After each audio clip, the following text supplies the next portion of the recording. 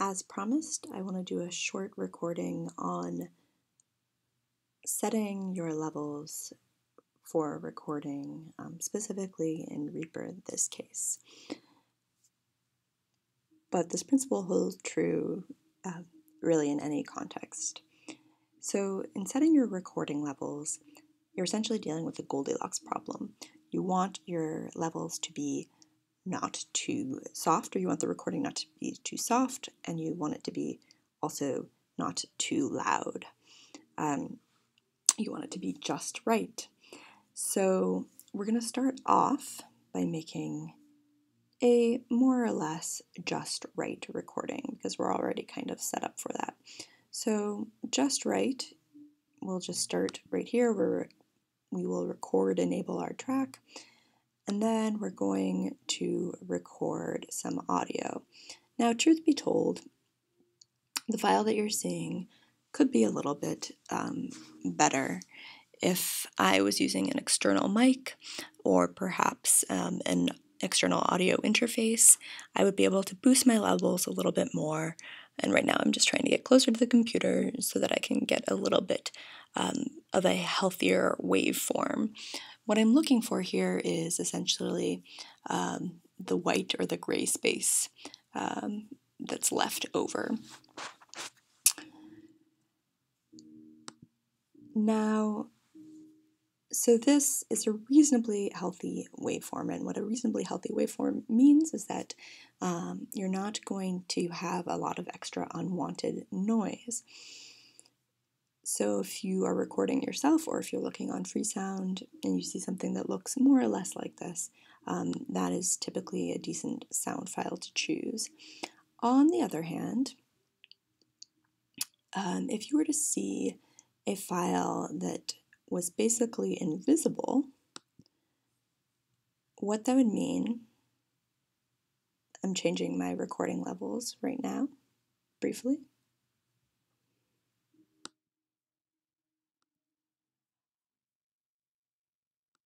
What that would mean is that the recording level is uh, too soft. And so the waveform is too soft. And as a result, you're going to get a lot of noise in your recording. So I'll show you what, what I mean.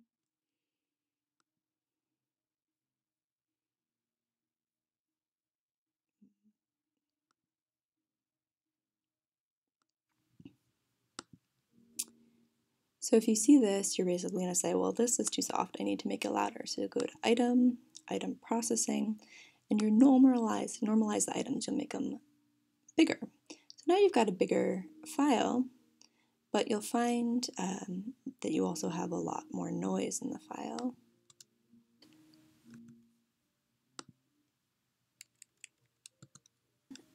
Is that so?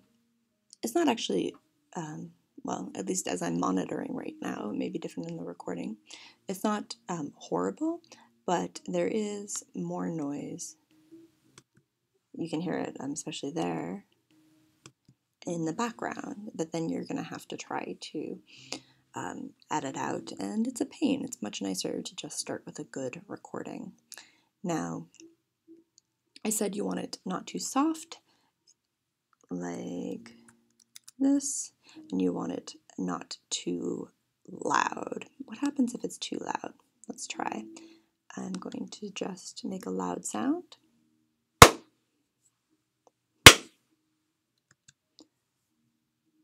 And you can see from over here, you have this little red indicator, which means your levels got too hot or too loud.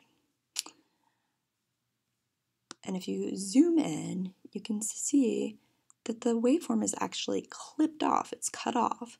This is called clipping or distortion. It is you have a distorted waveform um, or audio file.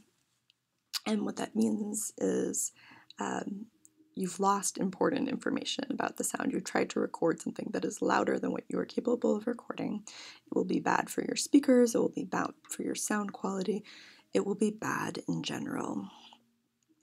Um, so if you were to find a file on Freesound that looks like this, or for you to record a sound yourself and it looks like this, basically you're going to have to either find a different file or do it over again. It's important to note that even if all of your files um, look nice and decent, something like this, um, or a little bit louder, if you start um, putting them on top of each other, one after another, and essentially mixing, you need to pay attention to your master levels, which will be um, which you will see over here. Because when you add all of these sounds together, even if none of them is too loud individually, altogether they can um, they can end up being too loud, and so you can trim them. Um, there's different techniques you can use um, to um, avoid that problem, including trimming the master gain. You can talk about um, compression and limiting and these sorts of things in a separate um, tutorial.